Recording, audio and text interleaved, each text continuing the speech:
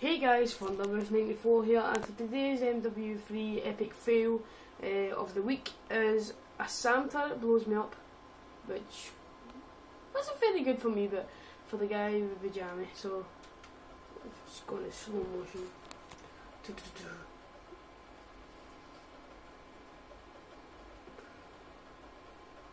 And this turret about to destroy it and it fucks me up badly, fucks me up big time. Um, I got the four kills in space of like three seconds, goes go over and fail. The SAM turret blew me up.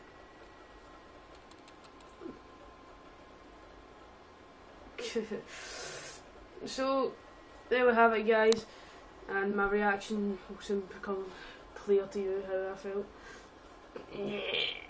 So if you like if you want me to start up, up an actual series of like top five epic fails of the week, just let me know in the comment section below and also leave a likes, favourite and subscribe to the channel please, it would be much appreciated.